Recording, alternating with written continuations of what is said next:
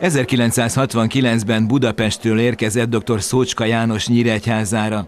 Gyorsan bebizonyosodott, hogy nem csak kiváló szakorvos, hanem ügyes szervező, csapatépítő is. Ezt mondta Fülöp Imre, a Józsa András Oktatókórház Fülor gégészeti és nyaksebészeti osztályának vezetője elődjéről. Hozzáfűzte, Szócska János 1969-től egészen haláláig részese volt az osztályon folyó munkának.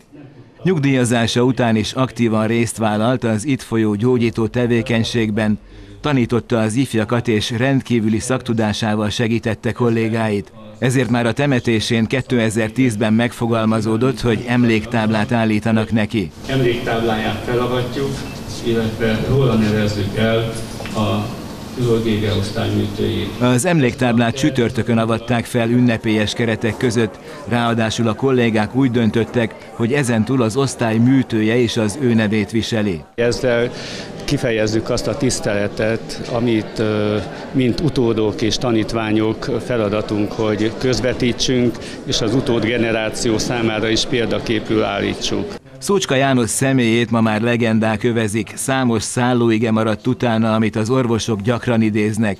Erről már dr. Ele Kibolya főorvos beszélt, aki magát Szócska tanítványának tartja.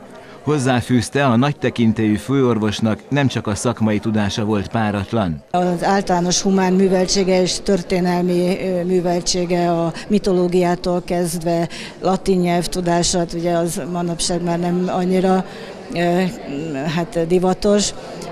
A sumér történelmet és mindenféle kutatásokban, nyelvi, nyelvi kutatásokban naprakész volt. Az emléktábla avatásán arról is szó esett, hogy Szócska főorvos tette le a jelenlegi fülorgégészeti osztály alapjait. Jelenleg 13 orvos dolgozik az osztályon, a betegek számára pedig 44 ágyat tudnak biztosítani. Éves szinten jelentős mennyiségű több mint 4200 műtétet hajdanak itt végre.